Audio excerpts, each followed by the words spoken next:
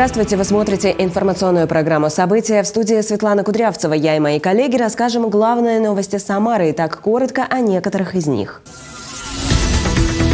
Расчищают входные группы и тротуары, посыпают территорию песчано-соляной смесью. Сегодня с утра все районы Самары вышли на уборку снега. Подавать декларацию, контролировать расчеты с бюджетом, оплачивать налоги можно, не выходя из дома. Как это сделать? «Сила в правде» выставки с таким названием открылись в самарских библиотеках. Мысль, чувство, мастерство в Самарской библиотеке прошла литературная гостиная, посвященная творчеству Даниила Гранина. Его работы учат замечать то, что находится вокруг. В Самаре открылась персональная выставка графики и живописи Николая Панфильцева. Ремонт почтовых отделений даже в самых отдаленных уголках области, а также дальнейшее совершенствование услуг Почты России в 63-м регионе обсудил губернатор Дмитрий Азаров с руководителем управления Федеральной почтовой связи Самарской области Андреем Поповым. Напомню, эту должность Попов занял в декабре 23 года. Он рассказал, что в Самарской области очень устойчивые почтовые традиции, которые позволяют держать на высоком уровне качество клиентского сервиса. Руководитель рекуправления почтовой связи остановился основываться на результатах работы службы. С лета 2023 года возобновлена работа 44 отделений почтовой связи. Еще 10 планируется открыть до середины февраля. 20 января возобновится работа отделения в селе Печорское Сызранского района, вопрос по которому был задан на прямой линии президента Владимира Путина. Активно ведется сотрудничество с маркетплейсами. Также Андрей Попов добавил, что по итогам прямой линии губернатора Дмитрия Азарова было зафиксировано 17 обращений, связанных с работой работой почтовой службы. Более половины из них уже отработаны. Решение по остальным будет принято до конца текущей недели. За ночь с 11 по 12 января выпало около 9 миллиметров снега, что составляет почти пятую часть месячной нормы. Накануне глава Самары Елена Лапушкина поручила службам благоустройства скорректировать свою работу с учетом продолжительного снегопада и обеспечить очистку дорог с маршрутами движения общественного транспорта, подъездов и подходов к социальным учреждениям, остановок и тротуаров выходов из подъездов, чтобы подготовить город к новому рабочему дню. Как проводились эти работы, увидела наша съемочная группа. Районные службы благоустройства, управляющие компании, ТСЖ, ЖСК, ТСН еще до восхода солнца организовали работы по расчистке территории от последствий интенсивного вечернего и ночного снегопада. В первую очередь внимание уделяется уборке от снега подъездов, тротуаров, во дворах и вдоль улиц, лестничных спусков, а также подходов к социальным учреждениям, чтобы жители могли спокойно выйти из дома, дойти до больниц, школ, детских садов и остановок общественного транспорта. Только в Ленинском районе города утром выполнять эту работу вышли 174 дворника и 16 единиц техники. В 6 часов мы контролируем вот именно выход техники и выход дворников чтобы к 7 часам утра, когда люди идут на работу, уже как минимум входные группы и тротуары были очищены. Всего в городе в дневную смену расчистку проводили около 300 единиц техники и более 3300 дворников. А минувшей ночью в уборке улиц города было задействовано 254 единицы техники и 83 дорожных рабочих. Учитывая, что потепление вновь сменится морозной погодой, рабочие продолжают активно использовать противогололедные материалы. За минувшие сутки было использовано более 350 тонн. Продолжается и вывоз снега с улиц Самары. Сегодня на спецплощадке доставили более 5000 тонн зимних накоплений. В ближайшие дни а, осадки не ожидаются, но ожидается понижение температуры а, вплоть до минус 30 градусов. То есть это условия, когда в принципе даже выпавший снег может смерзнуться. Поэтому основная задача сейчас его максимально очистить а, покрытие от данного снега. Все виды работ контролируют городские и районные службы благоустройства. Если те или иные организации недобросовестно исполняют обязанности, на них составляют соответствующие акты. В дальнейшем документация может быть направлена для прокурорского реагирования и в адрес ГЖИ. Андрей Горгуленко, Григорий Плешаков. События. Атеросклероз стремительно молодеет. Заболевания артериальных сосудов фиксируют не только у взрослого населения, но часто у детей. И важно вовремя обратить внимание на проблему. Самарский студент-медик Сергей Свиридов разработал приложение, которое поможет врачам-педиатрам определить тревожные сигналы, а родителям как можно быстрее заняться здоровьем детей. На исследование пошли средства гранта «Умник» от Фонда содействия инновациям. Подробнее о разработке расскажем далее.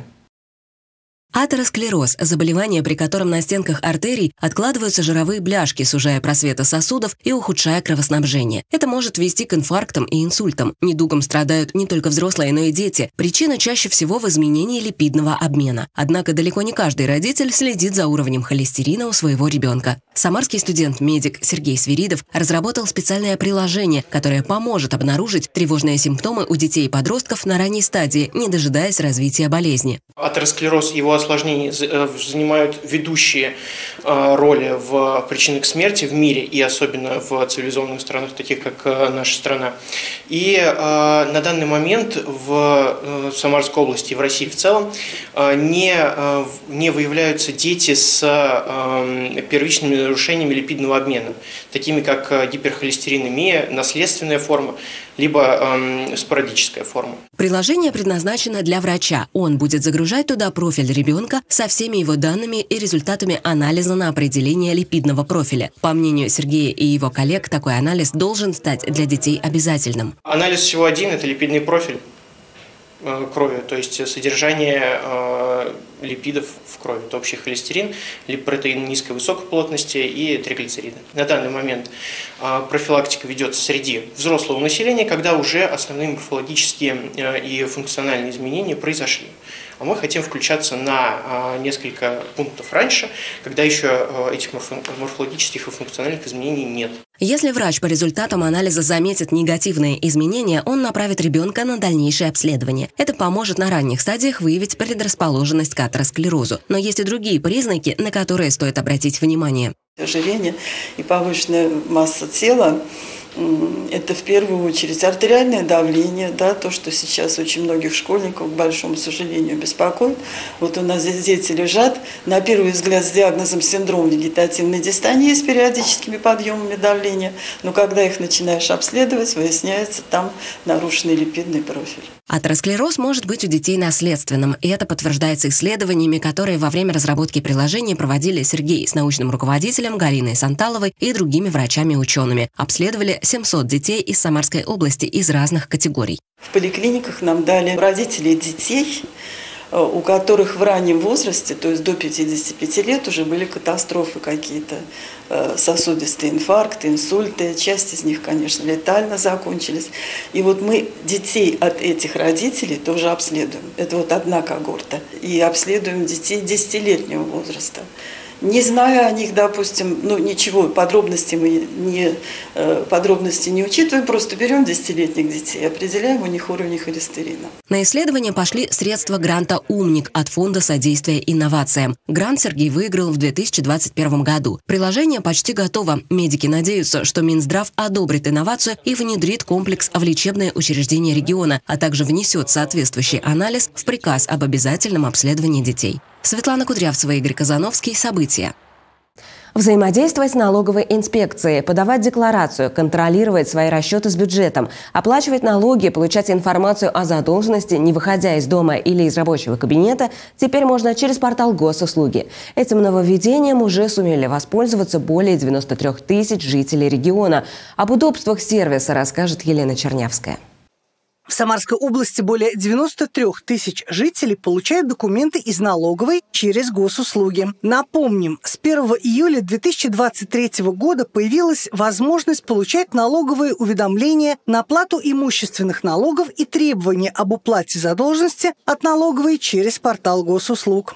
Нужно зарегистрироваться в госуслугах, и направить э, в налоговый орган согласие на получение таких документов. Это согласие подписывается госключом, и в дальнейшем уже налоговые документы приходят на сайт госуслуг.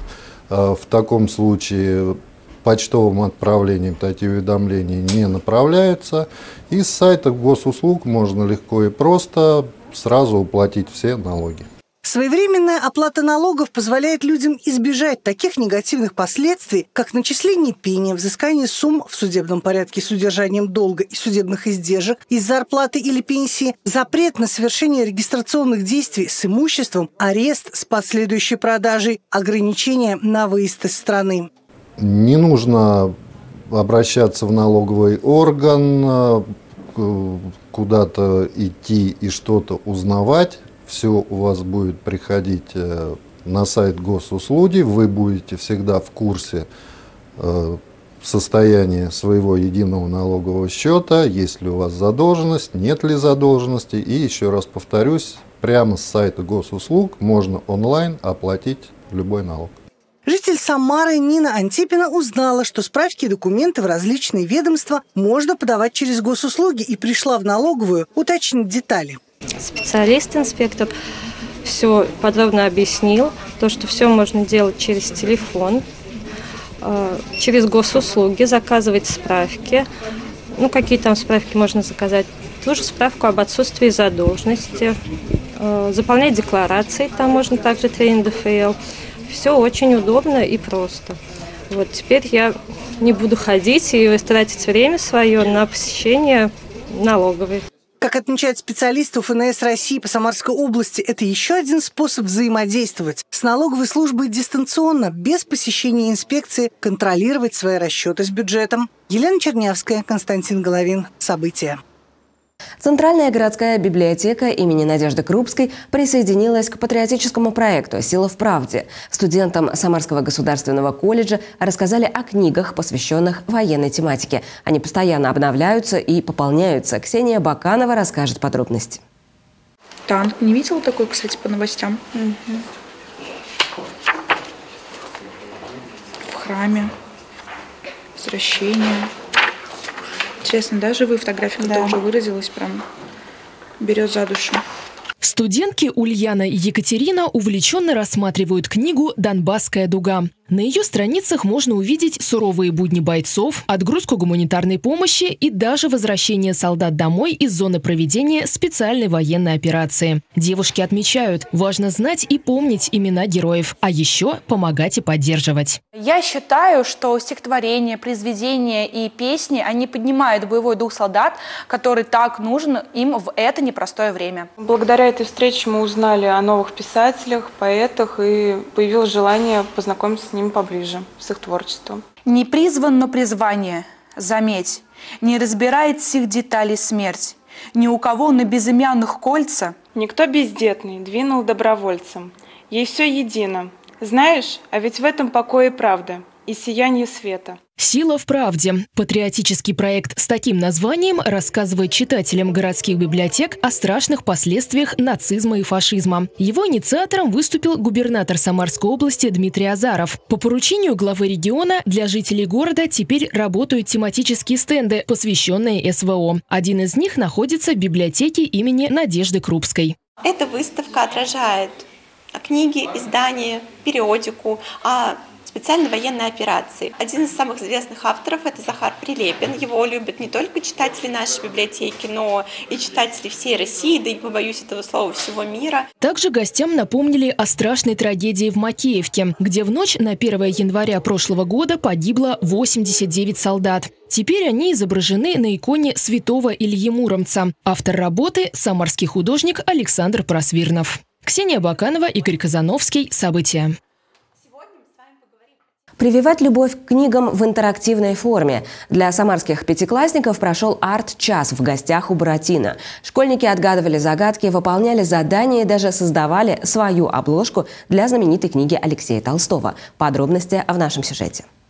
Сказали, как его зовут, кто с ним дружил, кто пытался обмануть и, конечно, кто написал сказку о деревянном мальчике, как в русской литературе, так и в зарубежной. Библиотекарь Екатерина Тишина рассказала пятиклассникам 81-й школы о приключениях Пиноккио Карла Колоди и золотом ключике или приключениях Буратино Алексея Толстого. Основную часть занятия, конечно, посвятили книге известного советского писателя, который, кстати, родился в январе 1882 года в Самарской губернии. Мероприятий много разных проходит э, по произведениям русских классиков, зарубежным э, тоже каким-то книгам э, для детей, для взрослых, поэтому мы всегда всех ждем. Подобные мероприятия, они в принципе позволяют узнать много нового, как-то ребята могут себя проявить и в принципе весело и с пользой провести время. Арт-час в гостях у Братина прошел в Центральной городской библиотеке имени Крупской. Это, конечно, очень увлекательно, что в библиотеке, после того, как ее отреставрировали, теперь она в новом формате, и Саша проводит такие мероприятия. Здесь очень красиво, интерьер просто потрясающий. Но и хорошо, что осталась все-таки вот эта старина, это именно книги, которые здесь были раньше, новые книги также, также здесь тоже есть. Занятия для пятиклассников подготовили в творческом формате. Школьники отгадывали загадки, разыскивали монеты, за что получили детали будущей обложки книги о золотом ключике и фломастеры, чтобы эту обложку самостоятельно украсить. Светлана Кудрявцева, Петр Поломеев. События. Мысль, чувство, мастерство Даниила Гранина. Под таким названием в Самарской библиотеке номер 16 прошла литературная акция. Она приурочена к 105-летию со дня рождения советского писателя и киносценариста. Гости встречи узнали интересные факты из биографии писателя и поближе познакомились с его творчеством. Подробности в нашем материале. Житель Самары Ирина Рубцова без чтения свою жизнь не представляет. Вспоминает, уже к девяти годам прочитала все книги из ближайшей детской библиотеки. Домашняя же коллекция книг, которую Ирина собирала с молодых лет, насчитывала 3000 экземпляров. Семь лет назад в доме Ирины случился пожар. Книги сгорели. И теперь Ирина – постоянный посетитель Самарской библиотеки номер 16. Здесь уютно и царит теплая атмосфера, признается Ирина. А мероприятия, которые регулярно проводятся, это возможность открыть для себя что-то новое и вдохновиться на прочтение очередного романа. Я постоянный читатель этой библиотеки. Честно говоря, персонал – это моя вторая семья. Настолько внимательны, всегда порекомендуют что-то новенькое. Каждый четверг проводятся мероприятия, на которых либо рассказывают о каких-то писателях, там, ну, как правило, у кого юбилеи бывают – выступала актриса оперного театра Наталья Бондарева.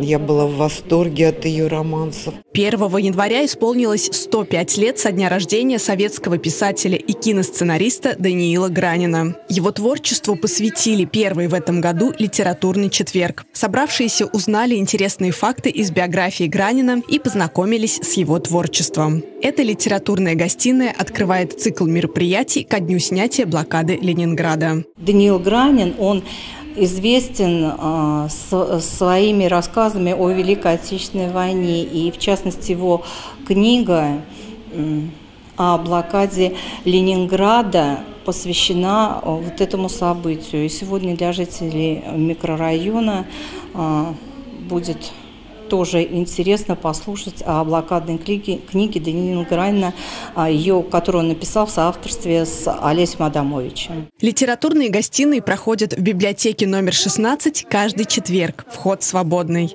Галина Топилина, Петр Поломеев. События. Его колоритные работы словно светятся. В Самаре открылась персональная выставка живописи и графики художника Николая Панфильцева. Она приурочена к 75-летию автора. Ксения Баканова насладилась красотой картин и готова рассказать подробности. «Слушающее небо». Эта картина художника Николая Панфильцева обладает какой-то невероятной энергетикой, говорит посетитель выставки и приятельница автора Клавдия Ткач. Современные люди постоянно куда-то спешат, часто не замечая того, что происходит вокруг. Взгляд замыливается. Все кажется привычным и не производит впечатления. Женщина уверена, это неправильно современному человеку она намекает, остановись, человек, смотрись в саму себя, если не можешь слышать небо, как просветленные святые люди. И когда мы не приходим посмотреть, а задуматься над каждым сюжетом картины, это дает очень многое для человека. На юбилейной выставке Николая Панфильцева представлено 72 работы. Нередко на своих полотнах мастер создает многофигурные композиции. Он часто воскрешает историю мира, России и Самары. Сначала трудно было, потому что я приехал из Орла, и ну, это Запад, э, там немножко другое. И года два как-то притирался, а сейчас просто это для меня стало родным – и я не могу себе представить в другом месте, потому что «Жигули», они неповторимы. Такого места больше не найдете. Перед нами предстают образы атамана Стеньки Разина, Усолки Богатырши и других легендарных персонажей. Художник рассказывает, в ранний период своего творчества много занимался графикой, делал афорты. Это древнейшая на самом техника, техника, которая требует э, виртуозного владения композицией, э, буквально даже вот мелкой моторики пальцев. потому что э, помимо разработки композиции сложной, еще требуется владение штрихом, владение какими-то вещами тонкими, которые не всем даются. Выставка продлится до 6 февраля. Посмотреть работы можно в зале регионального отделения Союза художников России. Вход свободный. Ксения Баканова, Игорь Казановский. События. Про Новый год, про зиму и, конечно, про любовь. В Самарском дворце ветеранов прошел праздничный концерт «Рождественские встречи». Чем удивляли гостей праздника, расскажем далее. Может быть, ты моя половина,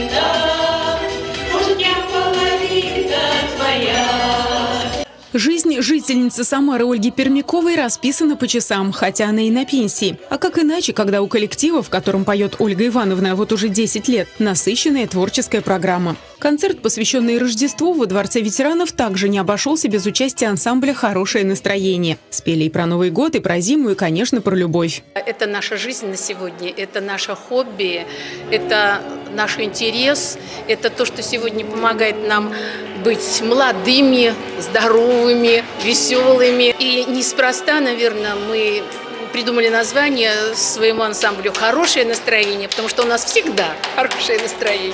Рождественский концерт во Дворце ветеранов завершил цикл мероприятий, посвященных новогодним праздникам. Все коллективы, принимавшие в нем участие, занимаются в этих стенах. Участники давно стали друг для друга родными людьми. Каждый человек имеет право на спасение, на примирение, на возможность быть услышанным, понятым э, и быть э, разделенным в его мыслях и чаяниях. Сейчас не очень спокойное время, сейчас э, очень много вызовов, которые в целом э, нашей стране обращены. И наша задача как можно плотнее объединить людей. А что может быть объединить лучше, чем э, творчество и тема Рождества, Рождества Христова. Рождество, оно продолжается. Сейчас идут святки. Готовились к этому празднику.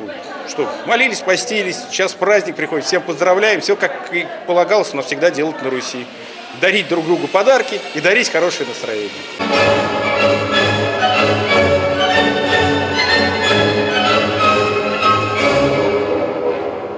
Виктория Шарая, Игорь Казановский. События. Далее вас ждет обзор телеграм-каналов городской администрации и профильных ведомств. Вот о чем они писали сегодня на своих информационных площадках.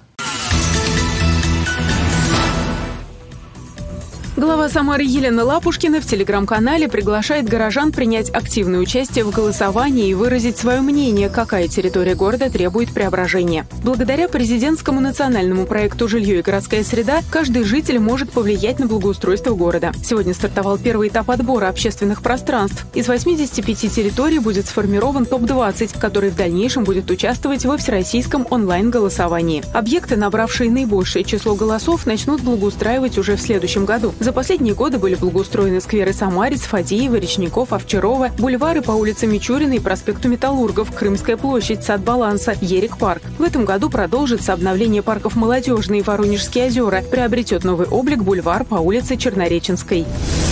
Руководитель управления информации и аналитики администрации Самары Елена Рыжкова сообщает о том, что сегодня происходит в доме номер 37 по Енисейской. В подвале в двух местах прорвало транзитную трубу, по которой шло отопление. Сейчас в подвале дома работают несколько аварийных бригад, сварщики, слесари, электрики. Вчера откачали воду из подвала. В ночь с 11 на 12 января начали сливать отопительную систему, чтобы приступить к ремонту. Сейчас дом обесточен, аварийные бригады в подвале выявляют место повреждения. После этого приступят к замене участков труб. По окончании окончании работ будут пускать тепло. Ситуация находится на личном контроле главы Самары Елены Лапушкиной. Департамент опеки, попечительства и соцподдержки сообщает, что в 2023 году в Самарской области родилось 555 близнецов. В 270 семьях появились двойни, а в пяти семьях сразу трое новорожденных. В Самаре для родителей близнецов предусмотрена единовременная выплата в размере 8 тысяч рублей на каждого ребенка. Если у вас двойное прибавление в семье, обращайтесь в любой офис МФЦ. Также оформление выплаты доступно доступны на региональном портале госуслуг. Необходимым условием оформления выплаты является постоянная регистрация одного из родителей и детей в Самаре. На этом наш выпуск подошел к концу. Продолжайте следить за новостями на официальном сайте Самара ГИС, а в нашем телеграм-канале, на страничках, в Одноклассниках и ВКонтакте. Выпуски новостей смотрите на видеохостингах и в социальных сетях. Будьте здоровы, всего вам самого доброго и до встречи.